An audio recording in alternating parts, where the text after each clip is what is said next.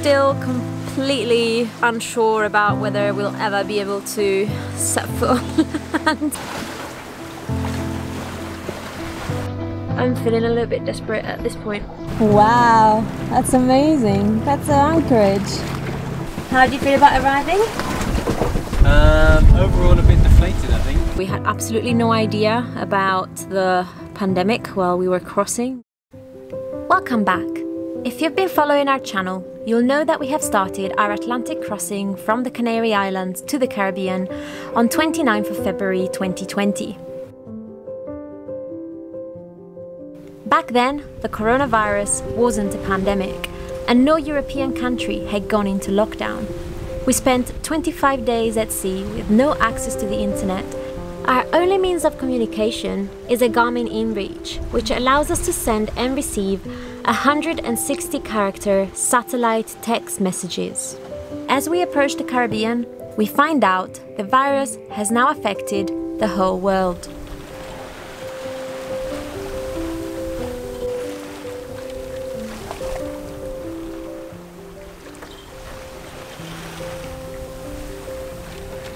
Catch of the day, sargassum seaweed.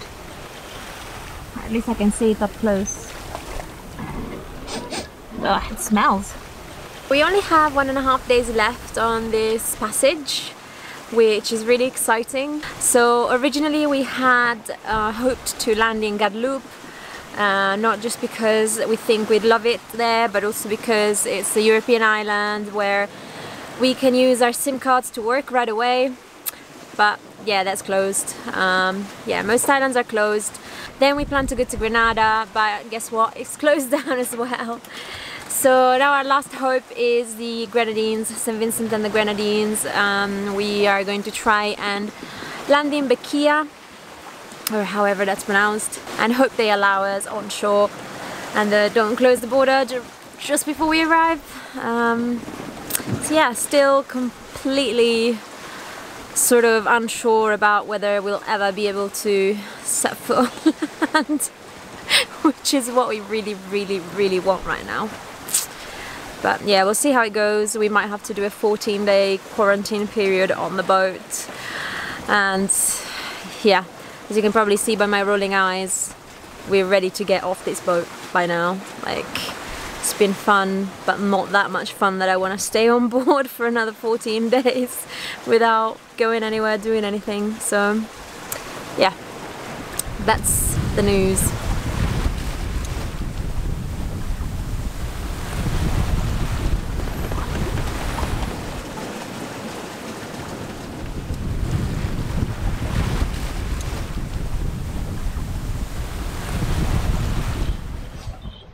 Have a good feeling about this one? Big mahi. Big mahi. Nice. I'm just gonna put away the seats. There. There's the bucket. The bucket, get the bucket.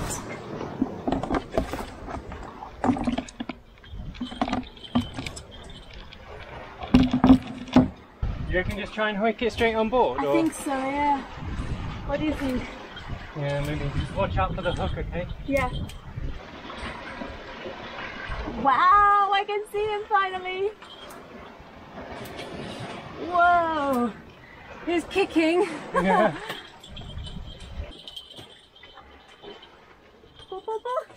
Yes! wow, it's huge. Ah.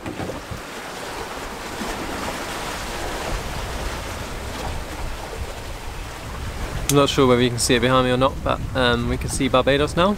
The glow of it we could see yesterday evening when the sun set, but now we can actually see the island. It should be just on the horizon. Nice to see land. Still got another day to go, but um, yeah, it feels like a big step.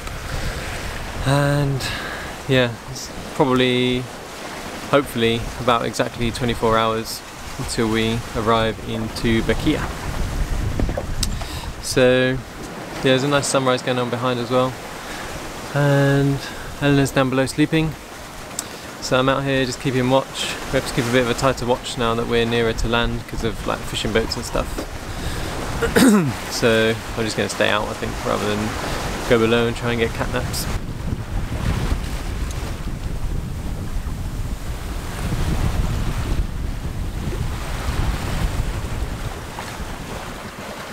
On my night watch, a flying fish lands next to me in the cockpit. It takes me a while to muster up the courage to flick it overboard. I can see the lights of Barbados. So officially spotted land in a way. It feels unreal. and um, unfortunately they're so far away I can't really uh, show, they don't really show on camera. But they're there and uh, yeah I'm really excited to see it in the daylight it will feel a little bit more real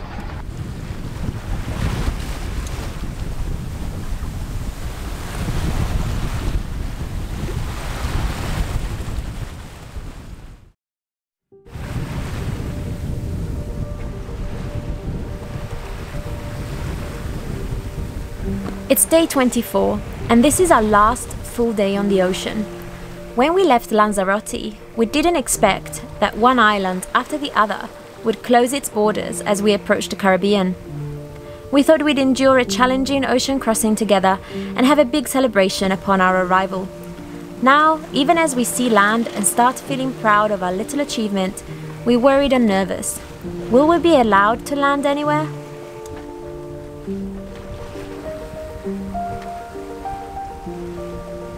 Our last night on the ocean is the longest night sail we've ever had. Just as we were grasping the idea that we've pretty much arrived and in the morning we'll put down the anchor and hopefully not move for the next two weeks, we got the news that I might be denied entry into St Vincent and the Grenadines based on the fact that I'm Italian. Yeah, it just, it, it never ends. It literally never ends, this Um, yeah, I don't know what will happen tomorrow. I haven't had a good night. I'm stressed out.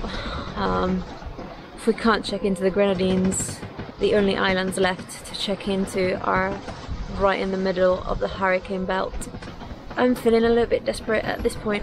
Um, just feels like we made so many sacrifices to do this Atlantic crossing this year rather than next year and it's kind of biting us in the butt.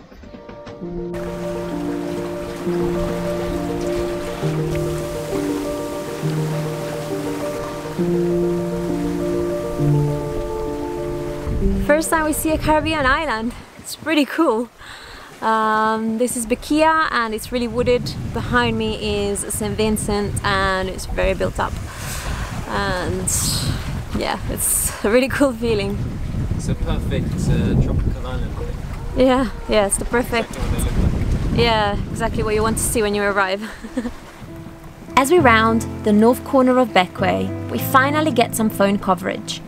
We buy some data and read the news. We cannot believe our eyes when we read that the coronavirus has become a pandemic and claimed over 20,000 lives worldwide. The UK has locked down just two days ago, while Italy went into lockdown two weeks ago, and we had no idea. We had asked our families not to tell us any bad news before we left. A death or someone getting ill would have upset us and distracted us from keeping the boat and ourselves safe. There was no way we could turn around once we were in the trade winds, but no one could predict a worldwide pandemic. How do you feel about arriving?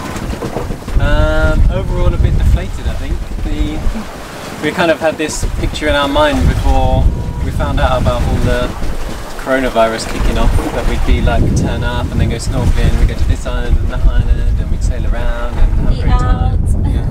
We'd be sipping young coconuts on the beach. and it seems like we're just going to be sat on our boat for another at least two weeks. I know, like we shouldn't whinge, like everyone's in the same boat, but um, Well, we might be refused entry like they said last night, huh? yeah, we might be refused entry, and we might be refused entry into every island. Yeah. So yeah, it's a bit of a conundrum, and not exactly what we were expecting. So yeah, honestly, a bit disappointed, but at the same time, it is really cool, and there's frigate birds and boobies flying around. and kind of excited to get in and see it, even if we can't make the most of it yet. Oh, it's this guy for the first time? Yeah, first time ever. Nice. Ryan goes on deck and hoists the Q flag to signal that we haven't checked into the country yet. We land in the Caribbean after sailing 3,000 nautical miles from Lanzarote to Bequia. It took us 25 days at an average speed of 5 knots. Wow, that's amazing. That's an anchorage. Ah, it looks incredible. It's 8 am and we want to know if we're allowed into the country, so we drop the anchor and Ryan goes into town to try to check us in. I don't dare get off the boat. So Ryan went to try and check in this morning and uh, was kind of a no, but not a definite no. The uh, immigration official was really against us checking in, especially me because I'm from Italy.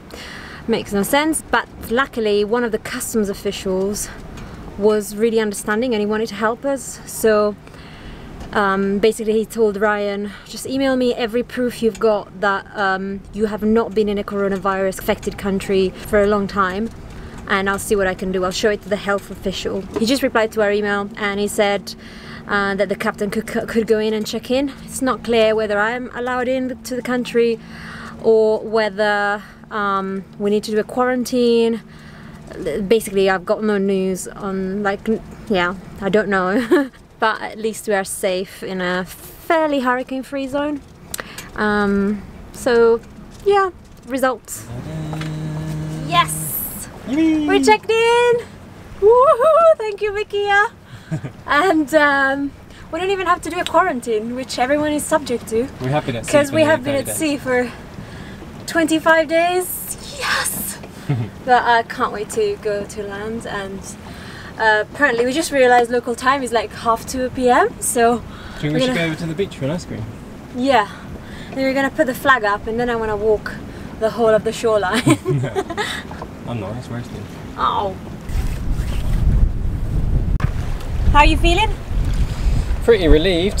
Have to say. Yeah. This is probably going to be us for the coronavirus now, Yeah. which isn't too shabby.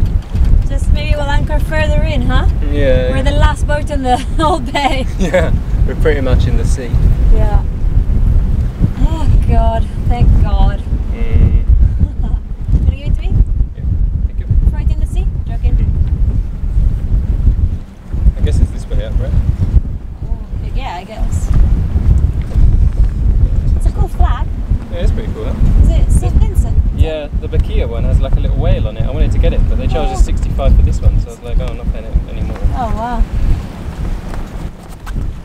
Oh, so it's this way. So the, the flag cost as much as our get checking in Checking in, fees. Anyone know the St. Vincent and know Grenadines the national anthem. They got the Queen on their thing, maybe we should sing the British bit. So we're going to shore, and I cannot wait.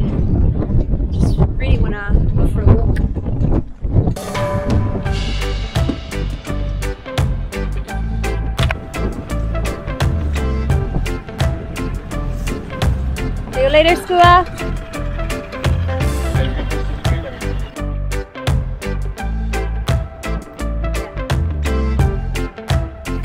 As we get closer to shore, the beautiful, colourful buildings and palm trees come into view. The smell of the vegetation and street food joints hits us. It's a sensory overload after 25 days at sea.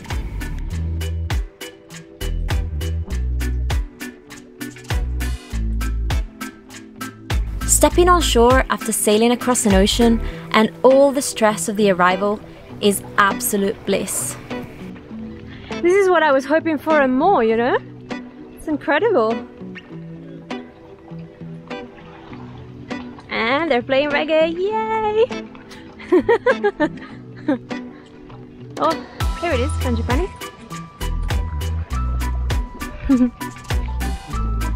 I just don't know which ear. I really love it here. Really, really love it. I'm so glad we are here and uh, can't think of a better place to be stuck in to be honest. I think Grenada wouldn't have been this nice to be honest, but we'll see. So cool. Super excited.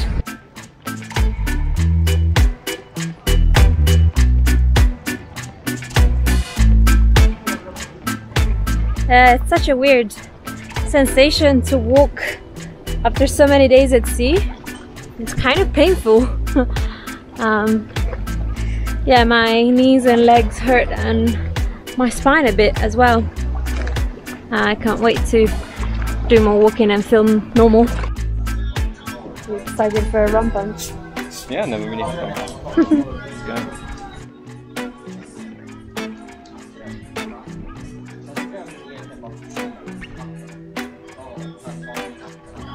Oh, is it really strong? Ouch.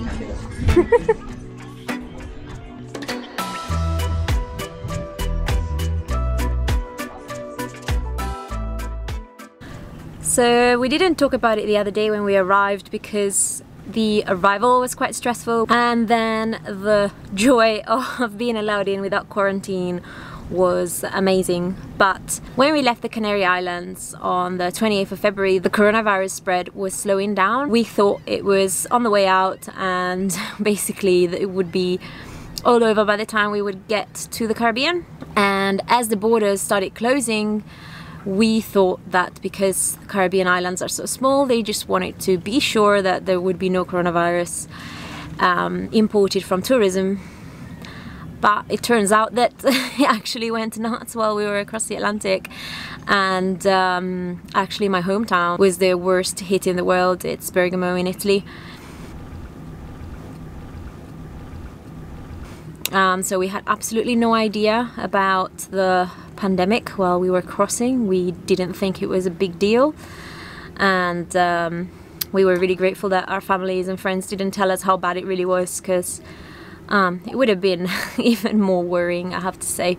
Well, we could just focus on arriving safely and trying to check into somewhere. But yeah, it's been a little bit of a shock once we started reading the news the other day as, as we arrived. We were like, oh my god, is there that many cases? Uh, it's been a little bit surreal to uh, catch up to to catch up with the news. In SVG where we are there's a couple of cases but the country is still completely open and there's absolutely no restrictions so people are still walking on shore, going to the supermarket, going to the bar, um, eating and drinking out and everything. Our first days in the Caribbean are a mix of strong emotions. The stress of checking in, the sadness and shock upon reading the news, and the elation of stepping onto land. Overall, we lucked out by landing in one of the few countries in the world not in lockdown and with very few coronavirus cases. So the sense of relief is immense. It takes us a few days to come to terms with everything that's happened since we set off to cross the Atlantic. But we're so grateful to be here.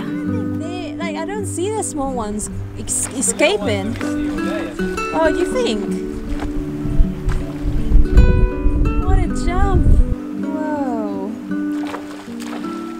What a jump! Whoa.